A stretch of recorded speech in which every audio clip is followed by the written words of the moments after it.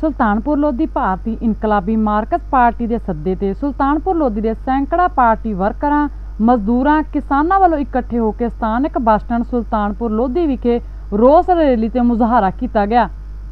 ਇਸ ਦੀ ਅਗਵਾਈ comrade Baldev Singh, comrade Darshan Singh Nahar, comrade Jaswinder Singh Dhaisi, comrade Satyanarayan Mehta ਨੇ ਕੀਤੀ ਅਤੇ ਮਜ਼ਦੂਰਾਂ ਤੇ ਕਿਸਾਨਾਂ ਦੀਆਂ ਮੰਗਾਂ ਨੂੰ ਲੈ ਕੇ ਮੰਗ ਪੱਤਰ ਐਸਡੀਐਮ ਡਾਕਟਰ ਚਾਰੂਮਿਤਾ ਨੂੰ ਦਿੱਤਾ ਗਿਆ। ਜ਼ਿਲ੍ਹਾ ਕਮੇਟੀ ਮੈਂਬਰ ਆਰਐਨਪੀ ਹੈ।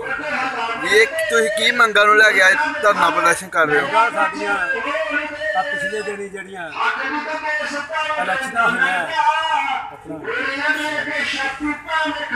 ਤ੍ਰਿਪੁਰਾ ਵਿੱਚ ਉੱਥੇ ਸਾਡੇ ਦਫ਼ਤਰਾਂ ਦੇ ਉੱਤੇ ਕਬਜ਼ੇ ਕੀਤੇ ਗਏ।